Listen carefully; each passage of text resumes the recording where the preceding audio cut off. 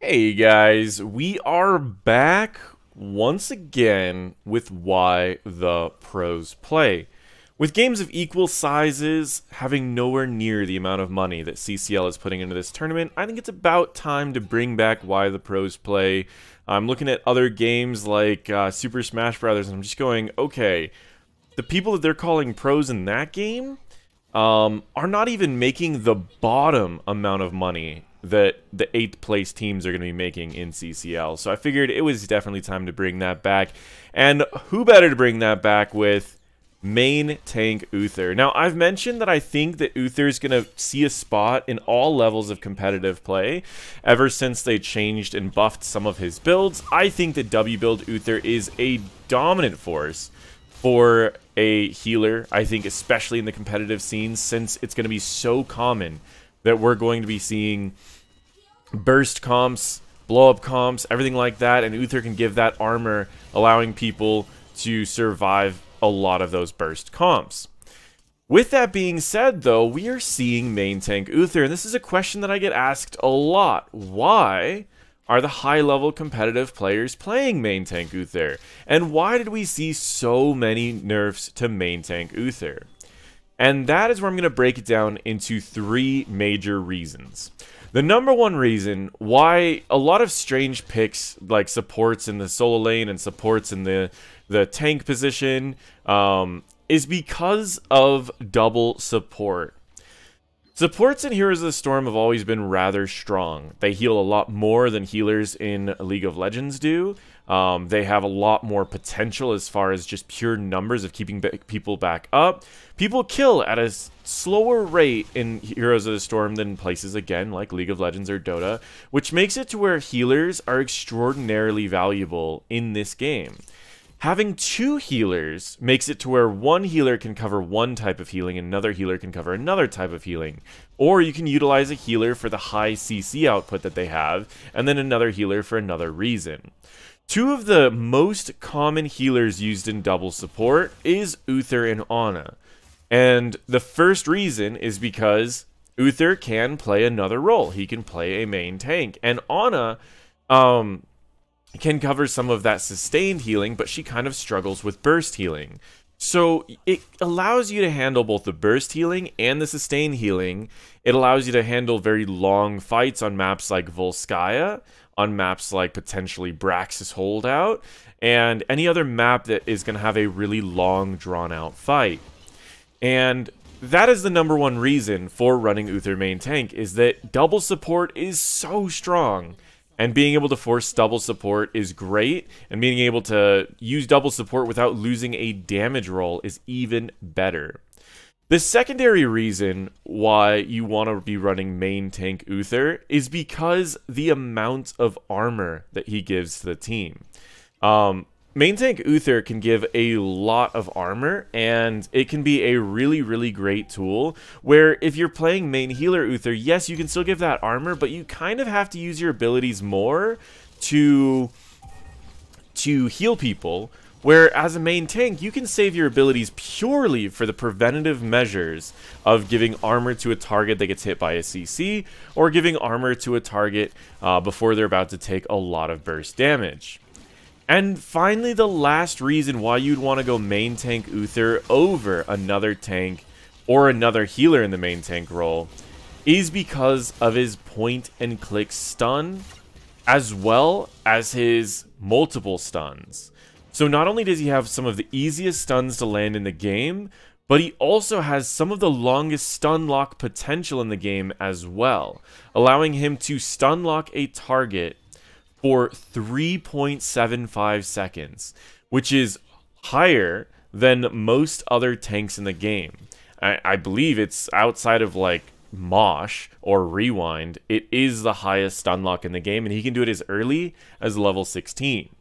So for those three reasons, it makes Uther main tank a very valuable part to any team comp that can utilize either the extra healer, the extra armor, the different types of healing, um, or that point and click stun, or just again those stun chains. Now that we know why the pros play it, let's see how they utilize this main tank Uther. So with this being said, this is a CCL match. We've got two teams of pro players. We've got Wildheart versus Granite Gaming. Wildheart is made primarily of competitive North American players with people like Zergling, who was on um, Scythe Esports at the end of uh, HGC. We have Pitkid, who's actually justing. Uh, one of my favorite drafters in the entirety of HGC. I think that he comes up with the coolest drafts, just like what we're seeing right now. Um, and then we also have people like Funds and Unaverted who are dominant in the open division as well as the competitive scene outside of HGC. And we have Buds who is on uh, but wait, Buds was on Octalysis as well with Justing, if I remember correctly. On the opposing team, we have three members of Granite Gaming with Henning, Swamp Groot, and Skog. And then Nick was uh, an open player, as well as Nintori, who was an open division player. Actually, uh, Nintori was partnered with Zergling on Scythe Esports at the end of it. So this these teams are filled with old HGC pros as well as new CCL pros, which is awesome. We get to see a little bit of the old, a little bit of the new, and we get to see some new meta come into this as well. Uh, these players are playing extraordinarily seriously, and one of the things that you're going to notice about main tank Uther is how far he plays back. Because Uther has received numerous health nerfs, uh, he can't really step up as much as some of the other main tanks. He has less health than even many bruisers. So uh, in this particular game, D.Va is going to have about as much tankiness as this Uther will have. The only reason that that Uther will have possibly more tankiness is because he's going to oftentimes have um, a a 25 armor on him because he's going to be healing himself every time that he uses Holy Shock. And so while he's going to be playing safer, let's talk a little bit about his build. He takes Silver Touch. The primary reason for taking Silver Touch is to increase the range and reduce the mana cost down to 40. Um, and the whole purpose of reducing the mana cost down to 40 is that he can stay in fights longer. Remember, when you run double healer, you generally can take the longer fights because you can out-sustain the opposing team. Well, you can't do that if you run out of mana, which is something that Uther really struggles with. So by reducing the cost of his Q down to, or his Holy Light anyways, down to 40, not only can he effectively cast Q at half the mana, but he's actually going to be able to gain more mana back than what he spends on it because of the talent he takes. And also, I just want to point out, this was clean. The enemies got the camp, he stunned them, and then he stole the, the turret and just placed the turret down before he uh, before he got knocked away. It's enough for them to uh, to do quite a bit to Skog. So at level 4, he's taking Holy Shock which makes it to where you can use your Q on an enemy. You get you still get the healing from the Q, but what you also get from this Q is that you will get back 45 mana and you cut the cooldown in half, which means now you can heal yourself every 6 seconds and you can apply armor to yourself every um, or, or for one third of the time. So you're going to have a higher effective health one third of this game because of these two talents right here. And every time you're going to gain 45 mana back after spending 40 mana, which means you're going to effectively be gaining 5 mana every time that you cast your Q.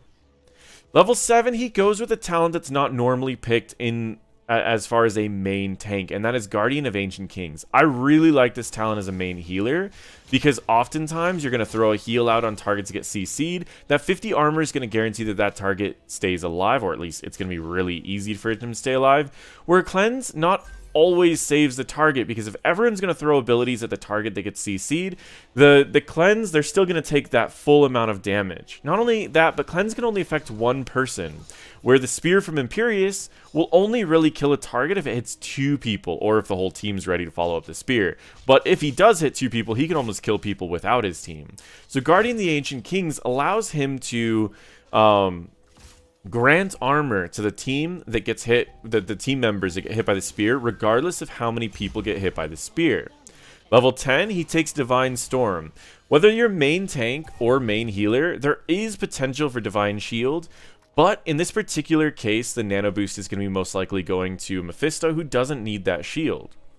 And So instead, he ends up going with Divine Storm, and again, you can stun an entire team for 1.75 seconds, uh, and you combine that with your 1 second stun on Hammer of Justice, potentially the two 1 second stuns with Benediction, and you've got yourself that 3.75 seconds of CC that you can apply.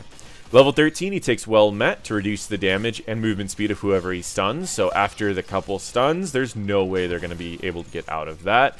I personally recommend other talents at 13 purely because I've done some numbers in the competitive scene that I've seen, and usually the target that you're going to be stunning is going to die.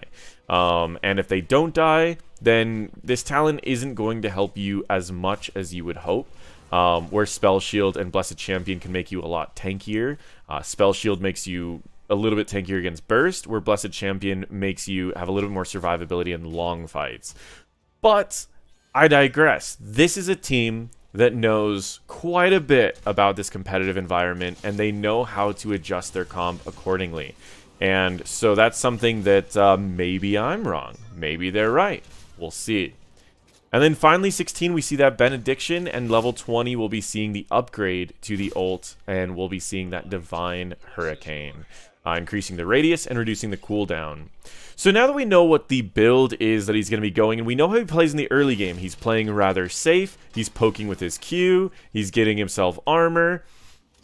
What makes this actually good? Because as it stands, it looks like Wildheart is getting absolutely trashed, right? They are down a fort. They have not done a single fort on the opposing team. They're down three kills. They're down a full level lead, a little bit more than a full level lead. And what is even going to make this good? Well, when you're playing a, a comp like this in the competitive environment, so much comes down to that coordination, right? And if you can set up for your team, anything is possible. What we see, I mean, great cleanse, self-cleanse by, by Unaverted right there made sure that barrel didn't do anything, but that's unfortunate because it's a medallion out of the way. Um, but what we're going to be seeing is once they begin calling the targets they actually want to kill, um, they're going to be able to do something that you don't normally see happen from a lot of the teams in maybe, um, well, especially in Storm League, but also in Nexus Gaming Series and Heroes Lounge. And that level of coordination that we're going to be able to see is going to be the reason why they run this is because stunning someone for three seconds in a row or more is enough to set up for nearly anything in this game.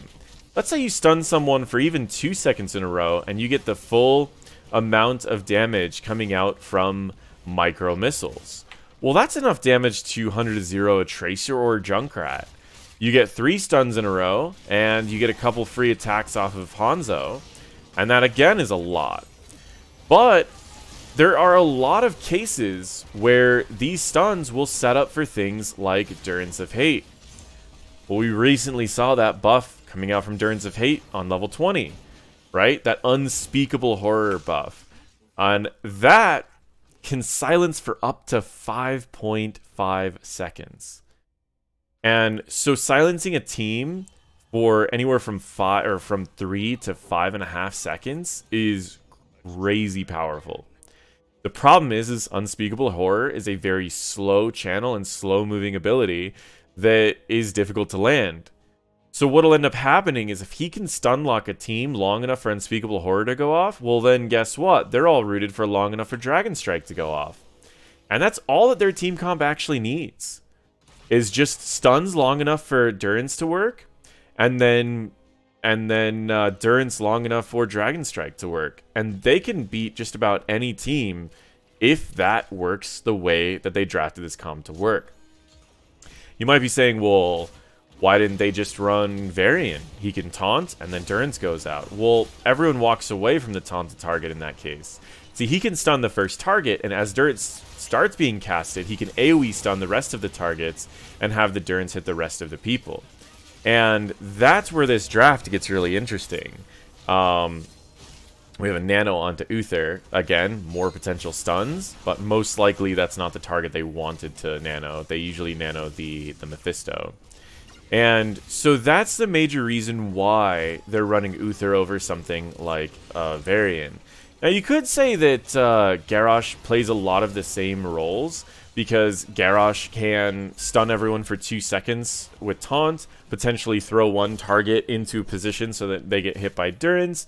Um, but it is a little bit more difficult to pull off, and Garrosh has his struggles as well. The later the game goes on, Garrosh loses a lot of his survivability, and against someone like an Imperius, Garrosh will have a hard time dealing with it, because if Imperius jumps um, and stuns a bunch of people, you have to use your Unstoppable a little early, um, where all Uther has to do is step away and give everyone on his team armor, so they can survive. So this allows this comp to have their entire team survive burst, where they otherwise wouldn't. And that is why Uther main tank is so powerful. So with that being said, I'm just going to go through and talk about the rest of the game rather than why people are running main tank Uther. Um, I can mention a little bit, uh, if you guys are in uh, Nexus Gaming Series or in Heroes Lounge and you're wondering how to utilize main tank Uther for your team, just think about team comps that um, could could follow up about two to three seconds of stun. If you have a team comp that can follow up two to three seconds of stun, um, then that's the start of building a team comp around main tank Uther. The next thing would be um, look for maps where people have to walk into you. Main tank Uther has no gap closers. He has no increase of movement speed. So you need to make sure that you're playing main tank Uther into a a map where enemies have to walk to you or else you're never catching up to people. And then finally, if you're going to draft main tank Uther. Um, it's a great counter to teams that like to run burst that's followed up by any form of CC. Uh, and if you can match those criteria, main tank Uther is a great pickup for teams in Heroes Lounge and uh, and Nexus Gaming Series. And again, I would recommend modeling off of Justing's playstyle. Because if you model off of Justing's playstyle, you are going to have safer games, you're going to have better results on average, you're going to be able to keep your team alive through burst, and you're not going to die endlessly. One of the biggest issues I would say fighting into a main tank Uther is uh, is Garrosh. Um, you have no escape on main tank Uther, and Garrosh can simply throw you and get a kill every single time. So just be careful if you are playing into a Garrosh and main tank Uther because you will definitely struggle into Garrosh. He throws, you die very quickly, even into non-burst comps if you're CC'd. Now, if you die, it's not the end of the world. You still have your trait, which is something that's very underrated with main tank Uther because people do want to kill you pretty early into the fight, but if they kill you early into the fight, you actually have more healing and more potential to give armor to your team. And so that's the one thing that can throw people off. If they spend way too many resources killing you, it could actually be a really bad thing. Especially if they're really focusing to, on killing you, you could potentially take Redemption instead of Divine Hurricane so that you resurrect after that and you get to take a much better fight right after where all of their resources are already used. With that being said, he does not take that. He ends up going with the Divine Hurricane because they want to set up for really powerful Unspeakable Horrors, and having a 40 second cooldown on Divine Rage, uh, or sorry, Divine Storm, is going to set up for those amazing um, Unspeakable Horrors. So for the rest of this game, they're going to play like pro teams would play. They're going to check bushes with abilities. They are going to play safe. They are waiting for the next objective. They are doing whatever they can to pretty much just kind of sit around. Uh, he does end up going for one stun onto the Imperius, goes for the second stun, and then goes for the Benediction stun as the third one. Unspeakable Horror goes off and applies that uh, those three extra seconds of silence. Those three extra seconds of silence leads to the kill of the Imperius. And now he's just going to go quickly get a stun onto the Chen. Nintori on that amazing Chen pops the barrel, gets out of there alive, but he is able to pop the barrel, which we saw earlier. That barrel almost killed the, the Hanzo and required a a usage of a medallion to get out. Well, since his medallion's already down, anytime that Justing can get an amazing stun, um, they don't need to worry about a barrel. And so that's the best part about this, is that he is doing his best to not only secure kills for his team, but the way that he's playing should also prevent deaths of his team. And uh, and that's what's great about it. So if you can model off of his play style, play very safe in the early game, and then utilize your high CC potential in the mid to late game, uh, you're gonna find yourself winning a lot more games than you're losing. Now, as far as Uther main tank in Storm League, I would say use it with caution.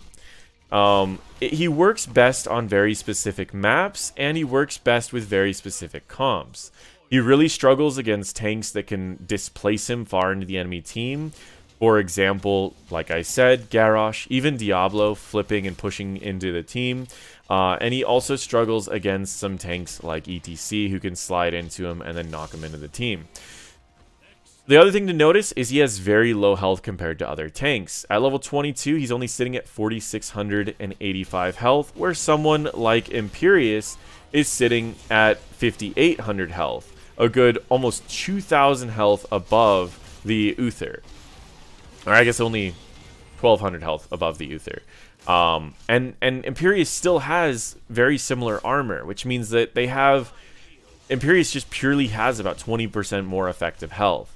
On top of that, Imperius has an escape, as we just saw with the spear. Uh, ETC has an escape, Muradin has an escape, almost every other tank has an escape. So bringing him into Storm League can be a challenge against teams that are more likely to take out your front line, um, which you'll see more and more often the higher rank you are. And my concern is that in the lower rank, by picking Uther as main tank, your team will think that you're trolling, which you're really not, um, but they'll think that you're trolling. So keep that in mind that uh, he can be really good even in Storm League, but there's a lot that I would be concerned about. And again, he uses W to check bushes. He was a little late after the uh, the Hanzo already checked the bush, but that's perfectly fine. So now we're going to be going up to this objective. Now this objective, both teams are relatively even. They are concerned that the enemy team is going to go for their top keep before the objective because their top keep is rather low. So you say you see he's standing in a position where the enemies can't see where he's at because he's behind a wall. Um, and then he's going to go in and he can use his W to check these bushes ahead of time. Um, but in this case, we have the Hanzo who already checks the bush. They go, they push, they destroy the catapult, and they leave. If the catapult's gone, they know they have two waves where they won't need to worry about a catapult pushing their lane. So instead, they start heading to this objective now, and this is the point that the first thing he needs to do is start applying um, his Holy Shocks and gaining armor.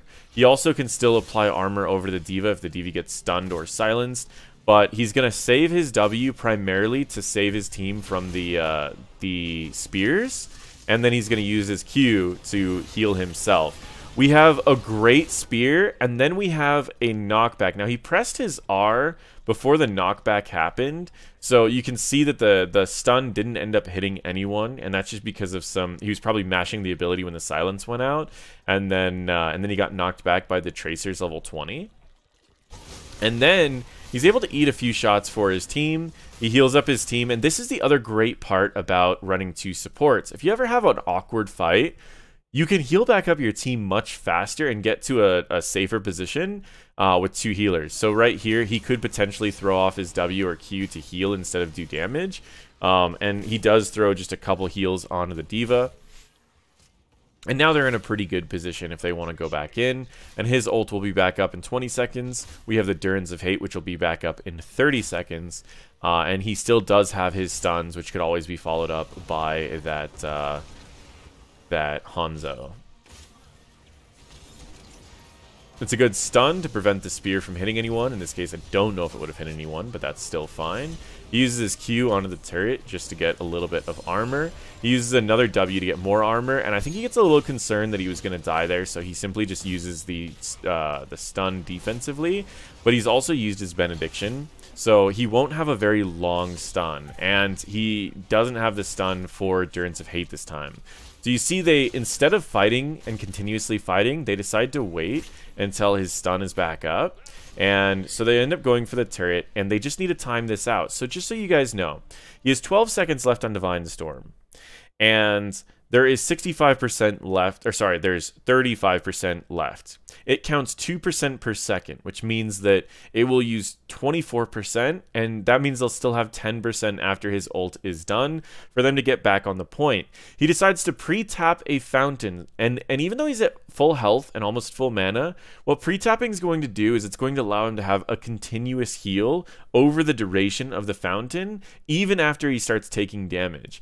So he's going to pre-tap this, and they're going to go in, and this is the last fight that they want to take right here. If they can win this fight, they believe that they can end the game, and if the opposing team wins this fight, the opposing team feels like they can win the game. He uses the armor onto the D.Va to give her more time to aggressively hold the point and contest the point. Once again, he's applying his Q for the first time in a long time as a heal uh, to give that 50 armor onto the D.Va as she just got hit by a root and he's waiting for the best opportunity to land a great stun so that they can use that Durance of Hate. Right here, he ends up overlapping his stuns a little bit. This is a mistake. It could simply be nerves. Remember, this is the last fight of the first week of CCL. And this right here could determine so much of this game. So where he did overlap just a teeny bit, he probably went for the initial stun because he got Junkrat, realized he could get the Imperius as well, and so he ended up going for a Divine Storm. They get stunned long enough to get hit by the Durance of Hate, and then the Durance of Hate is going to keep them silenced long enough for their team to kill two targets, and having two healers, they're able to keep their team alive through the rest of this fight.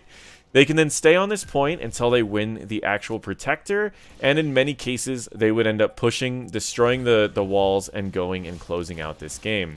He hops out early because he doesn't really want to waste the, the protector and how many stuns he has available, especially since he has Divine Storm soon.